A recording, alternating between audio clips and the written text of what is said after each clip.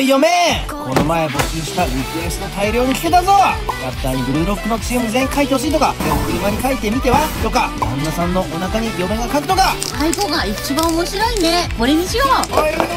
スプレーじゃなくてもいいじゃんそれ多分。みんなたくさんありがとう。